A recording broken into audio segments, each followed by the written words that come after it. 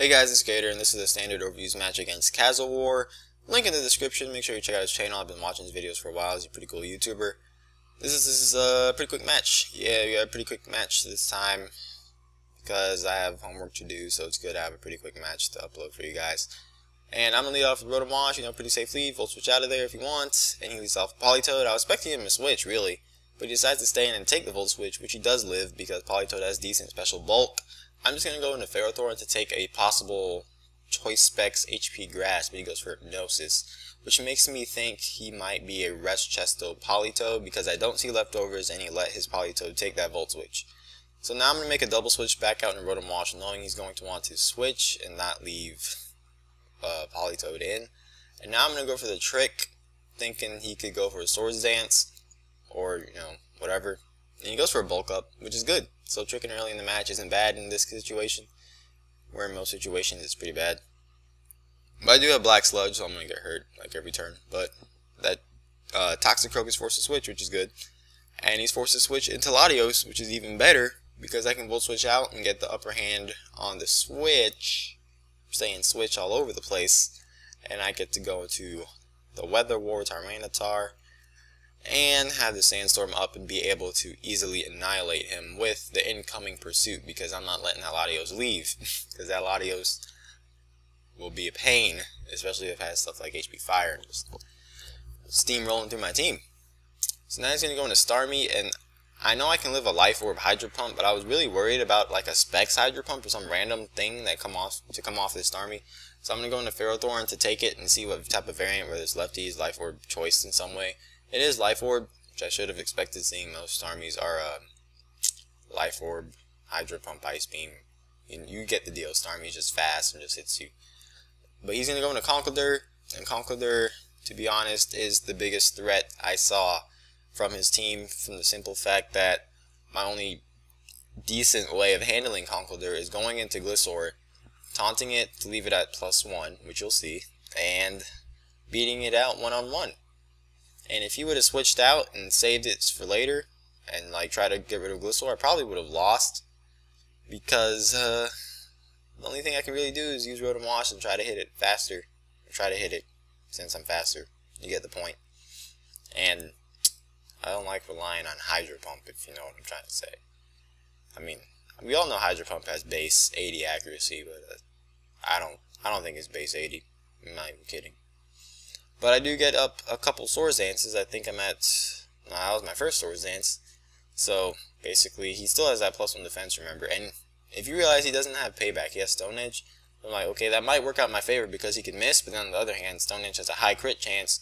So he could be hitting all Stone Edges and get a crit on me, which would basically mean GG because all I could do is pray for some Hydro Pump crit hacks, which probably wouldn't even kill it, I don't know. But, uh, I do have plus 4 attack now, and well, I guess plus 3 attack because uh, he does have the bulk up. So I'm to go for the Earthquake now, because this next Stone Edge could kill with a crit, and I can just get the damage off, and Rotom Wash should be able to revenge it with Hydro Pump, but no crit, and Gliscor is able to beat Conkeldurr one-on-one, which was the biggest threat of my team. Like I said earlier, he's going to go for the Mach Punch. If he got a crit here, I would have been pissed. I don't even know if a crit would have killed it. I don't think it would have killed. But yeah, Earthquake to the Conkeldurr. Conkeldurr dies. Your play of the game.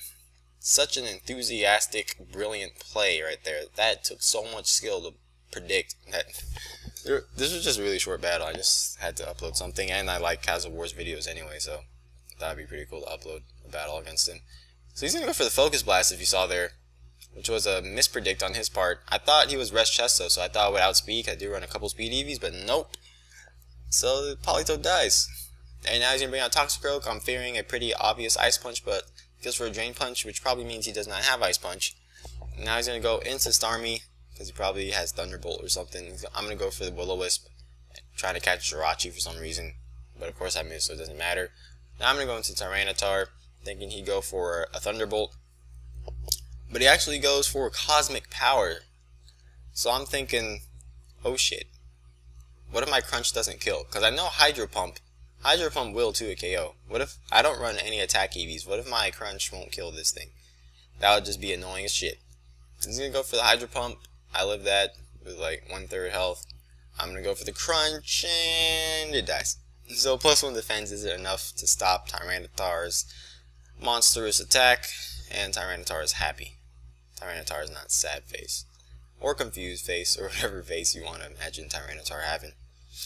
So now I'm going to go into Rotom Wash just to scout out what set this Jirachi is, whether it's a Calm Mind Water Pulse Thunder variant or a especially defensive Body Slam Iron Head. He goes for the Iron Head, which means he's probably the Body Slam Iron Head variant, so I'm going to Volt Switch out of there because Gliscor can handle that set, unlike the Calm Mind Thunder Pulse variant where it just gets pooped on. So he does go for the Body Slam, and that does nothing. I'm just going to get it basically all back from the amazing ability known as Poison Heal. I'm going to go for an Earthquake.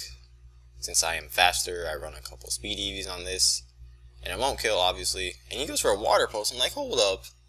You have Body Slam, Iron Head, and Water Pulse all in the same set, which really caught me off guard. And if he would have got the confusion right there, I could have possibly lost my Gliscor. Gliscor is such an amazing Pokemon, I didn't want to lose it. I couldn't lose it. So I'm just going to go for Earthquake and finish off his Jirachi. Jirachi is down, that iron heading, water pulsing, body slamming thing. And all he has left is his Scarf Toxicroak. And he does not pack Ice Punch, so Drain Punch won't do that much at all. And I can go for an Earthquake and not finish it off because I don't run attack EVs, but you already know what's going to happen finish it off. Next turn with the Earthquake, and that's going to be the game. Uh, make sure to like the video. On the last video, I don't think it appeared in people's sub boxes for some reason, which is kind of weird. I don't understand how the sub box thing works. But please make sure you like the video or pass the word around or something. Because uh, I'm doing this for you guys. This is the whole week of freaking Pokemon's battles. But um, that should be it. Tomorrow will be another day, another battle, and it's Gator, and I'll see you guys next time.